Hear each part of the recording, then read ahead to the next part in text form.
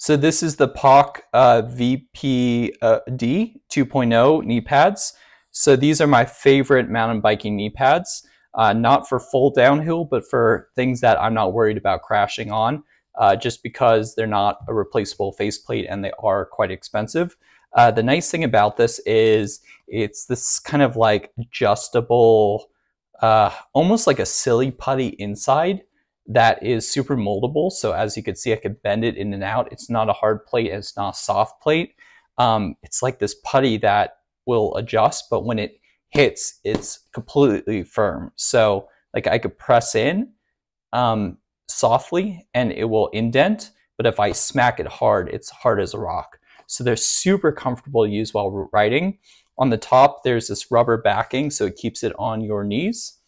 And then it has this stretchy part on the back and then this Velcro on the front. And then at the bottom, there's this Velcro to tighten it around the bottom of your knees. So for most of the stuff I ride, when I need knee pads, I usually use these. Um, again, unless you're doing like a full downhill park where you think you're going to be crashing and going through knee pad plates, then you might want something different. But for me, these are my favorite on the market.